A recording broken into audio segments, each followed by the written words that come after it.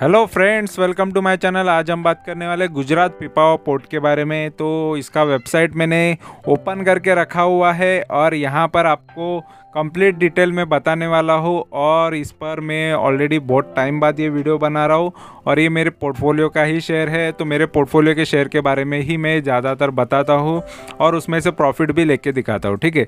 तो यहाँ पर ये शेयर को मैंने कब बाई किया था, सारी चीज़ें मैंने ऑलरेडी बता भी चुका हूँ, लेकिन यहाँ पर मैं वीडियोज़ कब डाले थे ये मैं आपको दिखा देता हूँ। उसके बाद हम इसकी कंप्लीट डिटेल देखने वाले हैं तो वीडियो एंड तक देखो और वीडियो अच्छा लगेगा तो ज़रूर चैनल को सब्सक्राइब करना, ठीक है? तो सबसे पहले यहाँ पर मैंने वीडियोस ये सबसे पहले डाले कब है, ये मैं दिखा देता हूँ, ठीक है? तो यहाँ पर आप देख सकते हो कि सबसे पहले वीडियो आया था 23 दिसंबर 2021 में, यानी काफ़ी टाइम हुआ है, ठीक है? तो नौ दस महीना, आठ नौ महीना या इतना टाइम हो चुका है ये शेयर में इन्वेस्ट करके, लेकिन यहाँ से अब भी मूवमेंट अच्छा आने चालू हुआ है। देखो, काफ़ी टाइम से शेयर मार्केट गिरा हुआ था सेंसेक्स निफ्टी भी गिरा हुआ था। अगर आप मार्केट में कंटिन्यूसली हो तो आपको ये सारी चीज़ें पता होगी। तो बहुत सारे रीज़न की वजह से बहुत सारे शेयर्स गिरे हुए थे। तो फ़िलहाल ये शेयर अभी अच्छे मोमेंट में दिख रहा है। इस वजह से मैं इसके बारे में आपको बता रहा हूँ। ठीक है तो सबसे पहले वीडियो था ये 23 दिसंबर 2021 में, फिर उसके बाद दोबारा वीडियो मैंने बनाया है उसका, ठीक है? तो लेटेस्ट जो भी अपडेट था, उसके साथ एक दूसरा वीडियो बनाया तो तेरह डिसे तेरह फरवरी 2022 को, ठीक है? तो उसके बाद ये अभी मैं वीडियो बना रहा हूँ तो काफ़ी टाइम के बाद ये वीडियो बना रहा हूँ, क्योंकि इसमें अच्छी मूवमेंट अभी आ गई है और ये मेरे टारगेट के आसपास अभी है। कुछ ही दिनों में या कुछ ही महीने में या महीनों के अंदर ही ये टारगेट पूरा कर लेगा। तो उम्मीद है कि कुछ दिन में ही ये टारगेट अच्छे से कंप्लीट कर दे। तो इस वजह से मैं आपको इसके बारे में इन्फॉर्मेशन दे रहा हूँ। तो यहाँ पर सबसे पहले वेबसाइट पे ही हम जाएँगे। तो वेबसाइट यहाँ पर आप देख सकते हो कि इसमें क्या नज़र आ रहा है। तो ये पोर्ट है और यहाँ पर जो शिपिंग का काम है, ये कंपनी करती है, यहाँ पर इनकी सर्विसेज़ दिखा देता हूँ। तो ये की सर्विसेज़ यहाँ पर आपको नज़र आएँगी। तो कंटेनर सर्विसेज़ भी है कि पिपावा पोर्ट का यहाँ पर, गुजरात पिपावा पोर्ट में ये कंटेनर सर्विसेज़ भी है इनके, ठीक है? और वो कंटेनर में हम माल रख के आगे जहाँ पर हमको भेजना है, वहाँ पर भेज सकते हैं। ठीक है एक्सपोर्ट कर सकते हैं। साथ में यहाँ पर लिक्विड कार्गो भी है, जो आपका केमिकल है या एलपीजी है ऑयल है, वो सारी चीज़ें यहाँ से आपको अलग कई जगह पर आपको भेजना है शिपिंग करना है, वो भी चीज़ ये कंपनी प्रोवाइड करती है। बाद में इसका बल्क कार्गो इसमें बहुत सारी चीज़ें जो ब्रिज रहेंगे नीम कोटिंग प्लांट्स रहेंगे, कुछ भी ऐसी चीज़ें रहेगी जो वेटे वेट वाली चीज़ें है या फर्टिलाइज़र रैक्स है तो ये सारी चीज़ें अच्छे से ये आपको, आपका माल यहाँ से वहाँ कर देगी शिफ्ट कर देगी। ठीक है तो मेन कंपनी का ये बिज़नेस है और ये बिज़नेस करके ही कंपनी अच्छा खासा कमा लेती है। तो कितना कमाती है, ये भी मैं आपको दिखा दूँगा, ठीक है? तो सारी चीज़ें यहाँ पर ऑलरेडी मैंने ये पहले जो वीडियोस बनाए थे, उसमें और भी अच्छे से डिटेल में बताई थी, लेकिन और लंबा वीडियो ना करने की वजह से मैं थोड़ा शॉर्ट में आपको बता रहा हूँ, ठीक है? तो यही टाइप का इसका बिज़नेस है और इस टाइप के यहाँ पर आप देख सकते हो कंटेनर्स है और इस तरीके का इनका बहुत बड़ा सेटअप है इनका। ठीक है तो मैन्युफैक्चरिंग सेटअप या मैन्युफैक्चरिंग नहीं, यहाँ पर इनके सर्विस का सेटअप जो भी है, यहाँ पर इस तरीके का ये इनकी सर्विसेज़ प्रोवाइड करते हैं, ठीक है? तो मेन इनका सर्विस बिज़नेस है और यहाँ पर इनका कोई और इनके साथ कौन कौन जुड़े, कौन सी कंपनीज़ जुड़ी है यहाँ पर आप देख सकते हो। तो ये सारी कंपनी इनके साथ जुड़ी हुई है, इनके साथ मिलकर ये काम करते हैं, ठीक है? तो ये शिपिंग का मेन इनका बिज़नेस है। तो इस टाइप का इनका ये बिज़नेस से कंपनी कितना कमा लेती है, ये भी हम देख लेते हैं। ठीक है तो सबसे पहले मैं आपको मनी कंट्रोल पे लेके चलता हूँ और मनी कंट्रोल इसके बारे में क्या बता रहा है दिखा देता हूँ। तो एन एस दोनों पर ये शेयर लिस्टेड है। ठीक है, और यहाँ पर आप देख सकते हो कि अभी फ़िलहाल जो प्राइस है काफ़ी सस्ता भाव पर सौ के अंदर ही अभी सस्ते भाव पर ही है। नाइन्टी का प्राइस यहाँ पर आपको देखने मिलेगा। सत्तर रुपये का ये लो था और एक सौ उन्नीस रुपया इसका हाई था तो हाई से अभी भी सस्ते भाव पे ये आपको देखने मिलेगा। और साथ में यहाँ पर आपको दिखा देता हूँ, इसमें पॉजिटिव नेगेटिव कौन सी चीज़ें है तो यहाँ पर स्ट्रेंथ देखो, इसमें स्ट्रेंथ पाँच है और वीकनेसेस भी पाँच है। तो यहाँ पर स्ट्रेंथ में इसका एम जो क्रॉस ओवर है, जो ट्रेंड लाइन है, वो अच्छी है एम का, ठीक है? तो ये ऊपर की तरफ़ जाने की जो सिग्नल लाइन है, वो एक बता रहा है। तो वो चीज़ अच्छी है और यहाँ पर इनसफिशेंट यूज़ ऑफ़ कैपिटल बता रहा है। इसका आरओसी थोड़ा ख़राब है डिक्लाइनिंग है तो वो भी हम देखेंगे इसका आरओसी कितना आ रहा है। ठीक है तो अपॉर्चुनिटी की बात करेंगे तो यहाँ पर पॉजिटिव ब्रेकआउट है फ़र्स्ट रेजिस्टेंस तो ऊपर की तरफ़ ये जा रहा है। तो ये एक अपॉर्चुनिटी यहाँ पर नज़र आ रही है और थ्रेड की बात करेंगे तो यहाँ पर डी ग्रोथ इन रेवेन्यू बता रहा है। तो डी ग्रोथ रेवेन्यू का मतलब ये है कि इसका सेल्स घट रहे हैं तो ये भी चीज़ हम देखेंगे कि सेल्स कितना है और प्रॉफिट एंड ऑपरेटिंग प्रॉफिट भी थोड़ा कम हो रहा है, यहाँ पर ऐसा नज़र आ रहा है, ठीक है? तो ये थ्रेड की बात है, ऐसे दो थ्रेड है इसमें। और अगर हम इसके ओवरव्यू देख लेते हैं तो इसमें मार्केट कैपिटल देख लो, लगभग साढ़े चार हज़ार करोड़ का मार्केट कैपिटल है और आपको डिविडेंड भी देती है कंपनी तो सोच लो, इसमें इन्वेस्ट करने से कोई नुकसान तो है ही नहीं ऑलरेडी डिविडेंड भी आपको समझ लो कि एक टाइप का एक इंटरेस्ट अगर हमने बैंक में पैसे रखे हैं तो उस टाइप का आपको इंटरेस्ट मिल रहा है, उस तरीके से आपको डिविडेंड मिल जाएगा। ठीक है, ये भी बैंक अकाउंट में ही क्रेडिट हो जाता है तो ये भी चीज़ अच्छी है। इसकी डिले डिलीवरी काफ़ी अच्छी उठाई जा रही है, ज़्यादा से ज़्यादा देखो 50 परसेंट से ज़्यादा यानी छप्पन परसेंट तक इसकी डिलीवरी उठाई जा रही है तो काफ़ी अच्छे शेयर्स को डिलीवर पे उठाना इसका मतलब इसमें और ग्रोथ आने के चांसेस होते हैं। फेस वैल्यू देखो, यहाँ पर दस का आ रहा है P B ratio two two का आ रहा है, ठीक है, और पी इसका बीस का आ रहा है तो ये भी चीज़ें अच्छी है, ठीक है, और बुक वैल्यू भी नेट असेट भी कंपनी का काफ़ी अच्छा ही है। और यहाँ पर मैं इसके एडवांस चार्ट दिखा देता हूँ तो एक साल के चार्ट्स यहाँ पर आप देख सकते हो। तो एक साल में काफ़ी गिरावट ये देखने मिली थी। तो इसी वजह से मैंने जैसे बताया कि मैंने इसको दिसंबर के टाइम पे ये गिरावट के टाइम पे ही मैंने ख़रीदा था यहाँ पर, ठीक है? तो इतनी बड़ी गिरावट के बाद भी ये शेयर फिर से गिरा है, क्योंकि यहाँ से मैंने उम्मीद की थी ये ऊपर जाएगा, लेकिन वहाँ से भी इसने गिरावट दिखाई और ओवरऑल मार्केट भी गिरा था। इस वजह से ये शेयर देखो काफ़ी सत्तर रुपये के भाव पर आ गया था। फिर अभी ये अच्छी मूवमेंट फिर से दिखाना चालू कर रहा है, ठीक है? तो फ़िलहाल ये इसके शेयर्स अभी जल्द से जल्द मैं यहाँ से निकलने वाला हूँ। देखो, सत्तर से ये अच्छा खासा मूवमेंट दिया जिसने सत्तर पे खरीदा, उसको अच्छा खासा प्रॉफिट अभी देखने मिलता होगा। और यहाँ पर पाँच साल से अगर कोई इन्वेस्टेड है तो एक साल में यहाँ पर दो बार डिविडेंड दिया ये भी मैं दिखा देता हूँ। देखो, दो बार यहाँ पर डिविडेंड भी मिल गया। एक रुपया साठ पैसा और यहाँ पर दो रुपया चालीस पैसा, ठीक है? तो लगभग अच्छा खासा यहाँ पर इसने चार रुपये तक का डिविडेंड दे चुका है एक साल के अंदर। अगर पाँच साल से अगर कोई इसमें इन्वेस्टेड है तो पाँच साल में देखो इसने किस तरीके के रिटर्न दिए हैं। तो लगभग 168 का हाई से ये शेयर काफ़ी गिरा है। तो गिरावट देख लो, काफ़ी यहाँ पर आपको 45 का शेयर बन गया था। तो ये होता है कितना भी अच्छा शेयर हो ये लाइफ में कभी कभी ये चीज़ें देखनी पड़ती है कि 168 का शेयर भी यहाँ पर 45 बन जाता है। मतलब जो भी यहाँ पर बुलिश रहेगा कि वो सोचता है कि यार ये शेयर 200 जाएगा 250 जाएगा, लेकिन उसको ये दिन भी देखने मिल जाते हैं। तो ये शेयर मार्केट है तो इस तरीके की चीज़ें होती है तो कभी भी किसी भी शेयर्स पर ज़्यादा कॉन्फिडेंस नहीं रख सकते, ठीक है? लेकिन यहाँ पर जो खरीदता है अच्छा शेयर है, सोच के कोई खरीदता है तो उसको अच्छे खासे रिटर्न्स मिल जाते हैं। देखो 45 का शेयर बन जाता है यहाँ पर, लगभग 124 का। तो लगभग ये दो गुना, तीन गुना ऐसे ही रिटर्न लोग कमा लेते हैं। तो हमारे पास जब मार्केट गिरता है या शेयर्स गिरते हैं, तभी अच्छा खासा पैसा होना चाहिए, नहीं तो हमको ये सारे रिटर्न मल्टीबेगर रिटर्न हमको नहीं मिल पाते। अगर मैक्स की बात करेंगे तो देखो मैक्स में इसने किस तरीके के रिटर्न दिए तो लगभग ये दो हज़ार दस से शेयर शेयर मार्केट में कंपनी तो वो टाइम पे बावन रुपये का शेयर था और इसने देखो दो सौ रुपये का या दो सौ के हाई तक ये पहुँच गया था शेयर उसके बाद इसने 2015 के बाद गिरावट दिखानी चालू की तो उसके बाद ये गिरा तो लगभग ये 45 तक गया, ठीक है? तो मतलब 200-250 का शेयर भी देखो कितनी गिरावट ये दिखा सकता है तो ऐसा भी होता है, ठीक है? और अगर हम इसके बिग शार्क्स यहाँ पर मैं दिखा देता हूँ। आई का सबसे ज़्यादा इसमें इन्वेस्टेड है। 8.23 है और एचडीएफसी ग्रुप ने भी 7.4 परसेंट इन्वेस्ट किया है और गवर्नमेंट पेंशन फंड ने भी इसमें 3.4 यहाँ पर इन्वेस्टमेंट किया है। ये कंपनी के अंदर ये बिग शार्क इन्वेस्टर से बड़े होल्डर से ठीक है? और यहाँ पर मैं इसकी एक न्यूज़ दिखा देता हूँ और प्राइस एंड वॉल्यूम भी देख लेते हैं तो वन वीक में इसने छः सात परसेंट के रिटर्न दे चुका है। वन वन मंथ में देख लो, लगभग बारह परसेंट इसने रिटर्न दे चुका है। यानी एक महीने से जो भी इन्वेस्टेड है, उसको भी अच्छा रिटर्न मिल गया है। तीन महीने से जो इन्वेस्टेड है, उसको बीस परसेंट उन्नीस परसेंट का यहाँ पर रिटर्न मिला है। लेकिन जो जनवरी से अभी तक इन्वेस्टेड है, उसको सात परसेंट का कंपनी ने लॉस दिया है और एक साल से जो इन्वेस्टेड है, उनको लगभग आठ परसेंट का लॉस दिया है। तीन साल से जो इन्वेस्टेड है, उनको पंद्रह परसेंट का ही प्रॉफिट दिया है। तो काफ़ी कम है ये।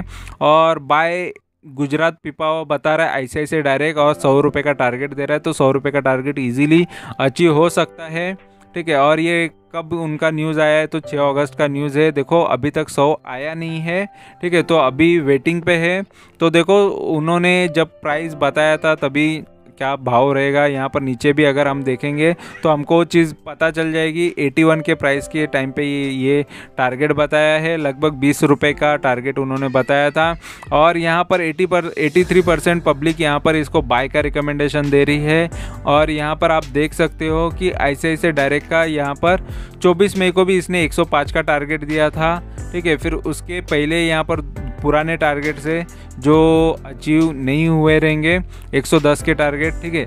तो ये पुराने टारगेट्स भी यहाँ पर 2020 के शो कर रहा है। और यहाँ पर हम देखेंगे इसके फाइनेंशियल तो फाइनेंशियल देख लो रिवेन्यू इसका कंटिन्यू बढ़ते हुए जा रहा है यहाँ पर। ठीक है, लेकिन बहुत हल्का फुल्का बढ़ रहा है, ज़्यादा बढ़ नहीं रहा है। और नेट प्रॉफिट की बात करेंगे तो नेट प्रॉफिट कंटिन्यूसली यहाँ पर तीन साल तक तो अच्छा रहा, लेकिन उसके बाद थोड़ा गिरावट हमको नेट प्रॉफिट में देखने मिली। और शेयर होल्डिंग पैटर्न की बात करेंगे तो देखो, सबसे अच्छे यहाँ पर प्रोमोटर्स के शेयर होल्डिंग पैटर्न्स है। और प्रोमोटर ने यहाँ पर कोई प्लेज रखा नहीं है और सबसे ज़्यादा प्रमोटर ही होल्ड कर रहा है तो ये भी चीज़ अच्छी है। और अगर हम देखेंगे इसके सेकेंड यहाँ पर आ रहे फॉरेन के इन्वेस्टर फॉरेनर्स ने काफ़ी अच्छा पैसा लगाया है। यहाँ पर आप देख सकते हो 143 फॉरेनर्स है इसमें। और रिसेंटली नौ फॉरेनर्स बड़े हैं। और डी जो डोमेस्टिक इन्वेस्टर है, जिसके अंदर म्यूचुअल फंड भी आते हैं तो ये म्यूचुअल फंड का पूरा इन्वेस्टमेंट है। म्यूचुअल फंड ने भी ज़्यादा से ज़्यादा इसमें इन्वेस्टमेंट करके रखा है। और पब्लिक का जस्ट फोर्टीन इन्वेस्टमेंट है तो पब्लिक ने भी इसमें अच्छा खासा इन्वेस्टमेंट करके रखा है, ठीक है? लेकिन पब्लिक का बाकी शेयरों से तो काफ़ी कम है, क्योंकि बहुत सारे शेयर्स में कंपनी बहुत सारे ऐसी कंपनीज़ में पब्लिक ज़्यादा से ज़्यादा इन्वेस्ट करती है जो काफ़ी ख़राब होते हैं, ठीक है? तो यहाँ पर हम इसका स्क्रीनर भी देख लेते हैं। स्क्रीनर इसके बारे में क्या बता रहा है? तो यहाँ पर आपको आरओसी दिखा देता हूँ। तो देखो आरओसी जो return on capital employed debt fund और जो इक्विटी फंड है, या इक्विटी कैपिटल और डेट कैपिटल इसके ऊपर कंपनी जस्ट पंद्रह परसेंट रिटर्न जनरेट कर पा रही है। तो ठीक है, और आर थोड़ा सा दस परसेंट से भी कम है आर थोड़ा कम है। ठीक है रिटर्न ऑन इक्विटी जो इसका इक्विटी फंड है, इस पर कितना कमा रही है, यहाँ पर ये दिखा रहा है। और यहाँ पर हम प्रॉज एंड कॉन्स की बात करेंगे तो देखो company is almost debt free यानी कंपनी पे थोड़ा बहुत कर्जा है, लेकिन बहुत काफ़ी कम है। और company is maintaining healthy dividend pay out dividend pay out भी कंपनी का काफ़ी अच्छा है। और अगर company has deliver poor sales growth बता रहा है, देखो सेल्स ग्रोथ जस्ट एक दो परसेंट से बढ़ रहा है हर साल तो ये काफ़ी ख़राब चीज़ है। और company has low return on equity बता रहा है तो रिटर्न ऑन इक्विटी और भी अच्छा होना चाहिए आरओई तो रिटर्न ऑन इक्विटी तीन साल के हिसाब से थोड़ा कम ही नज़र आ रहा है, ठीक है? और यहाँ पर पियर कंपेरिजन में ओनली अकेले का ही नाम यहाँ पर शो कर रहा है, ये ये बिज़नेस के अंदर, ठीक है? तो यहाँ पर ये भी चीज़ अच्छी है कि यहाँ पर दूसरा किसी से कंपैरिजन है भी नहीं और अगर हम क्वार्टरली रिजल्ट्स की बात करेंगे तो देखो, यहाँ पर 178 करोड़ से लेके 200 208 आठ करोड़ तक ये कंपनी का सेल अभी फ़िलहाल है। और लास्ट क्वार्टर में इसका 221 करोड़ का सेल था। तो फ़िलहाल कंपनी का थोड़ा सा सेल कम हुआ है, लेकिन जून 2021 के मुकाबले थोड़ा अच्छा ही सेल्स हुआ है। लेकिन ये कंपनी का ऑपरेटिंग प्रॉफिट मार्जिन देखो काफ़ी अच्छा है। 50 परसेंट से तो ज़्यादा ही ऑपरेटिंग प्रॉफिट मार्जिन कंपनी को मिल रहा है। तो प्रॉफिट मार्जिन काफ़ी अच्छा है कंपनी का, और नेट प्रॉफिट भी ऑपरेटिंग प्रॉफिट भी अच्छा खासा ही कंपनी कमा लेती है। और अगर हम इसके नेट प्रॉफिट की बात करेंगे तो नेट प्रॉफिट भी कंपनी का अच्छा ही है। लेकिन मार्च मार्च के क्वार्टर से थोड़े कम हुए हैं इसके तो जून क्वार्टर के इसके जो नेट प्रॉफिट है थोड़े कम हुए हैं मार्च क्वार्टर से, और यहाँ पर जून 2021 से इसके थोड़े अच्छे खासे यहाँ पर आपको यहाँ पर नेट प्रॉफिट देखने मिलेगा तो प्रॉफिटेबिलिटी कंपनी की अच्छी है, और प्रॉफिट एंड लॉस की बात करेंगे तो लगभग 2010 से लेकर 2022 तक, देख लो कंपनी 284 करोड़ का कंपनी सेल करती थी और 10 साल में कितना ग्रोथ हुआ देख लो कंपनी में। जस्ट यहाँ पर 10-12 साल के अंदर कंपनी के सेल्स थोड़े डबल हो गए हैं और एक्सपेंसेस भी देख लो मेंटेन है और यहाँ पर प्रॉफिट मार्जिन भी मेंटेन रखा है कंपनी ने। तो काफ़ी अच्छा है लगभग 50 परसेंट से ज़्यादा ही प्रॉफिट मार्जिन कंपनी ले रही है और ऑपरेटिंग प्रॉफिट भी कंपनी का काफ़ी अच्छा है। इंटरेस्ट पेमेंट थोड़ा आ, कम ही है टेंशन नहीं है यहाँ पर। और नेट प्रॉफिट की बात करेंगे तो देखो नेट प्रॉफिट दो सौ उन्नीस करोड़ का कंपनी नेट प्रॉफिट फ़िलहाल अभी टीटीएम इसका चल रहा है। ठीक है तो मार्च 2022 से थोड़ा अच्छा ही चल रहा है यहाँ पर। और लेकिन अगर हम देखेंगे 2021 में 21 के ऊपर आ चुका है ये। ठीक है तो काफ़ी अच्छे इसके आगे सेल्स होने के संभावना है। और अगर हम इसका स्टॉक का सीएजीआर देखेंगे तो स्टॉक ने देखो 10 साल के अंदर जस्ट 6 परसेंट सालाना रिटर्न दिए है। हर साल आपको 6 परसेंट की ग्रोथ देखने मिलती। तो ये कम ही है, ठीक है? दस साल से अगर कोई इन्वेस्टर रहता, उसके लिए ये काफ़ी कम ही रिटर्न है। इससे अच्छा कोई एफडी के अंदर लगा के रखता छः सात परसेंट के लिए। अगर हम पाँच साल की बात करेंगे तो पाँच साल में भी इसने हर साल नौ परसेंट का गिरावट दिखाई है। हर साल नौ परसेंट का लॉस दिया है। तो ये भी चीज़ खराब ही है। और तीन साल की बात करेंगे तो तीन साल में देखो, हर साल पाँच पाँच परसेंट का ग्रोथ दिया है तो तीन साल का भी रेट काफ़ी कम ही है। और अगर हम एक साल की बात करेंगे तो एक साल में भी आठ परसेंट ये गिरावट में हमको देखने मिल रहा है। तो इसने लॉन्ग टर्म शॉर्ट टर्म में इतना कुछ खास रिटर्न्स दिए नहीं है। अगर बैलेंस शीट की बात करेंगे तो बैलेंस शीट भी देख लो तो कंपनी का यहाँ पर आपको रिज़र्व काफ़ी अच्छा नज़र आएगा। ठीक है 1549 करोड़ का है, लगभग 1500 करोड़ के ऊपर का रिज़र्व में पैसा पड़ा है और 47 करोड़ का कंपनी पे फ़िलहाल कर्जा चल रहा है तो कंपनी का कर्जा इजीली रिकवर हो जाएगा और कर्जा पे कर सकती है। और बीच में देखो कंपनी ऑलमोस्ट डेफ फ्री भी थी पूरा डेट डेट फ्री ही थी, कंपनी ने कर्जा पूरा चुका चुकी थी, लेकिन फिर से कुछ ना कुछ रीज़न की वजह से कंपनी ने कर्जा लिया है, लेकिन फिर भी वो इजीली चुका सकती है, ठीक है? अगर हम इसके शेयर होल्डिंग पैटर्न में कुछ चेंजेस हुए हैं, वो देख लेते हैं तो यहाँ पर देख लो, जून के क्वार्टर में प्रमोटर के सेम ही रहे हैं शेयर होल्डिंग और यहाँ पर जस्ट फॉरेन के इन्वेस्टर ने थोड़ा बहुत माल बेचा है तो प्रॉफिट बुकिंग की है थोड़ा बेच के, और यहाँ पर डी ने देखो थोड़ा बहुत यहाँ पर उन्होंने भी माल बेचा हुआ है, और यहाँ पर पब्लिक ने देखो माल ख़रीदा हुआ है तो पब्लिक की इन्वेस्टमेंट बढ़ चुकी है, ठीक है? तो जिस तरीके का यहाँ पर डेटा शो कर रहा है, उस हिसाब से मैंने कम्प्लीटली चीज़ें बता चुका हूँ।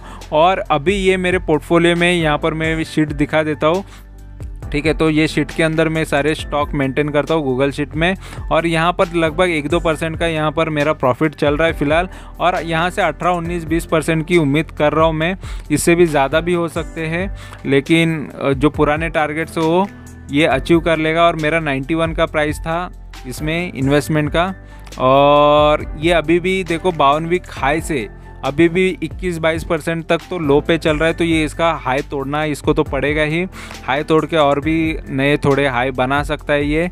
तो फ़िलहाल मेरे जो टारगेट्स से बीस, इक्कीस परसेंट के ही होते हैं और उसी के लिए मैंने लिया था, लेकिन उसके ऊपर भी ये शेयर जा सकता है। ऐसा नहीं होता है कि मैंने बेचने के बाद कोई शेयर फिर से डाउन में आता है तो बहुत सारे शेयर्स तो ऊपर चले जाते हैं और भी नए नए टारगेट्स वो देता है, ठीक है? तो लेकिन मेरा मिनिमम एक टारगेट होता है, मैं उतना ही लेने की कोशिश करता हूँ और बाकी का अगर अदर जो मेरे स्टॉक है, उसमें इन्वेस्ट करके वो पैसा उधर मूव करके उसमें वो शेयर्स बढ़ा देता हूँ और वहाँ से भी कुछ प्रॉफिट लेने की कोशिश करता हूँ, ठीक है? तो ऑलरेडी जो भी मेरे प्रॉफिट्स चल रहे हैं, यहाँ पर आपको देखने मिलेगा। तो ये सबसे हाईएस्ट प्रॉफिट जिसमें चल रहा है, ये ऊपर है और जिसमें लॉस ज़्यादा चल रहा है, वो नीचे है, ठीक है? तो ये सारे शेयर्स को भी मुझे रिकवर करना है और बहुत सारे शेयर्स तो मेरे ऑलरेडी ज़्यादा से ज़्यादा शेयर्स तो मेरे प्रॉफिट में हैं और थोड़े बहुत शेयर्स लॉस में है, उसको मुझे जल्द से जल्द उसमें से भी प्रॉफिट में निकलना है, ठीक है? तो सबसे अभी जो यहाँ पर मैंने बताया है, ठीक है तो गुजरात पिपावा पोर्ट तो उसका यहाँ पर देख सकते हो कि अगर हम देखेंगे इसका रिकवरी तो बावन वीक लो से इसने काफ़ी अच्छा रिकवरी किया, लगभग 32 परसेंट तक तो ये रिकवर हो चुका है। जिसने लो पे ख़रीदा होता, उसको 32 परसेंट का लगभग प्रॉफिट मिल मिल मिल जाता उसको, ठीक है। और यहाँ पर पी वाइज अगर देखेंगे तो इसका पी देखो, अभी भी बीस का है तो इसमें बाइक के लिए मेरा आ रहा है, क्योंकि सस्ता पी आता है तो मैं ऑटोमेटिकली उसके लिए फॉर्मुलेशन डाला हुआ है कि बाइक के लिए आना चाहिए। और अगर डाउन साइड देखेंगे तो अभी भी डाउन में मिल रहा है तो इस वजह से भी बाइक के लिए आ रहा है। यहाँ से भी कोई बाय करेगा तो उसको बीस बाईस परसेंटेज आराम से मिल जाएगा। ठीक है, और या उससे भी ज़्यादा मिल जाएगा 25 परसेंट भी मिल सकता है यहाँ पर। और यहाँ पर अगर हम देखेंगे रिकवरी के हिसाब से तो जिसको यहाँ पर देखो, इसमें टाइम कितना लगेगा? क्योंकि अभी मोमेंट में है, लेकिन कभी कभी एक महीना लगता है, डेढ़ महीना लगता है कभी कभी जल्दी भी आ जाता है, क्योंकि मार्केट अप एंड डाउन चलते रहता है इस हिसाब से। अगर किसी को लगता है कि ये बत्तीस परसेंट लेके बेच देना चाहिए तो बेच के वेट भी कर सकता है, क्योंकि ये मार्केट है, इस वजह से कोई भी प्राइस या कोई भी चीज़ एकदम परफेक्ट नहीं होती है तो शेयर मार्केट में अप एंड डाउन काफ़ी चलता है, नहीं तो हर कोई तुरंत फटाफट प्रॉफिट ले लेता तो यहाँ पर शेयर मार्केट अपने हिसाब से चलता है, हमको उसके हिसाब से चलना चाहिए।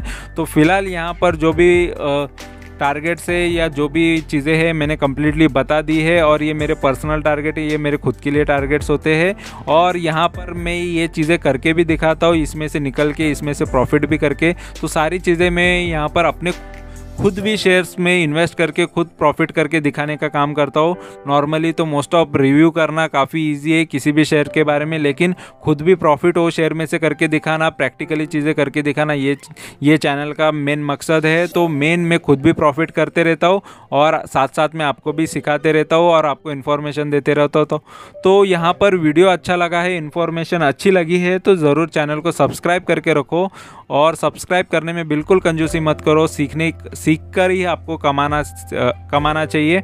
तो सीखो और कमाओ और यहाँ पर अच्छा लगेगा तो बिल्कुल दिल से अगर अच्छा लगते हैं तो चीज़ें तो वीडियोस को लाइक भी किया करो, कमेंट भी किया करो और दोस्तों के साथ शेयर भी किया करो, नॉलेज भी बांटा करो। मैं तो यहाँ पर फ्री में नॉलेज बांट रहा हूँ। तो अगर आपको जस्ट शेयरिंग से किसी को नॉलेज बांटना है या किसी को लगता है कि किसी के पास ये शेयर है तो उसको भी चीज़ें आपको बतानी है तो आप उनको बता सकते हो। ठीक है तो वीडियो अच्छा लगा है। तो ज़रूर like share and subscribe thank you very much for watching my video thank you bye bye